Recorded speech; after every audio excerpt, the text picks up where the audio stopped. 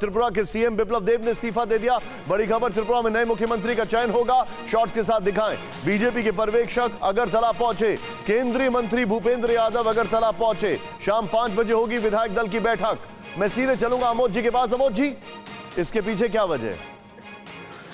देखिए दो हज़ार अठारह में जब से सरकार बनी थी, तब से ही एक बड़ा खेमा विप्लव देव के खिलाफ था और लगातार उनके कार्यशैली का विरोध करा था और अभी कुछ दिन पहले उनके परिवार के अंदर भी कलह की खबर बहुत तेज़ी से फैली थी, जिसको लेकर आला कमान बहुत नाराज़ था। अब महज एक साल और बचे हैं वहाँ विधानसभा चुनाव जी मैं आपसे एक डायरेक्ट सवाल पूछ रहा हूँ क्या ये नया स्टाइल ऑफ़ ऑपरेशन है बीजेपी का कि चुनाव से कुछ महीने पहले अपना मुख्यमंत्री बन बदल दो एक शॉट में एंटी इनक्यूमेंसी खत्म हो जाती है?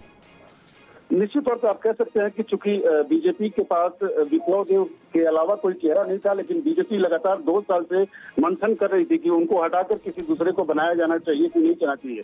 अब पार्टी ने ऐसा माना कि नहीं अब उनके खिलाफ ज़्यादा इनकम्बेंसी है। लिहाजा नए आदमी को मौका दिया जाना चाहिए आज पाँच बजे। बहुत बहुत शुक्रिया जानकारी के लिए आपका। फ़िक्र आपकी सोमवार से शुक्रवार रात नौ बजे सिर्फ़ टीवी नाइन भारत वर्ष पर।